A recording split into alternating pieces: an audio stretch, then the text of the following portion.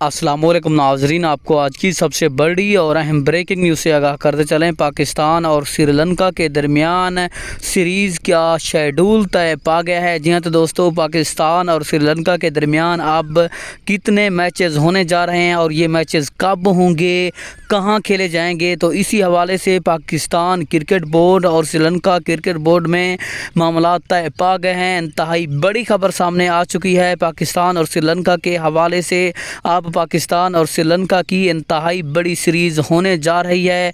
मैं आपको मुकम्मल तफसील के साथ आगा करता हूँ, ये सीरीज़ कब खेली जाएगी, कहाँ खेली जाएगी, इसकी नुमाइंदगी किसको मिलेगी? तो उससे पहले वीडियो को लाइक और चैनल को लाजमी से सब्सक्राइब करना है, ताकि आपको हमारी नई वीडियो का नोटिफिकेशन सबसे पहले और बसानी मिलता रहे।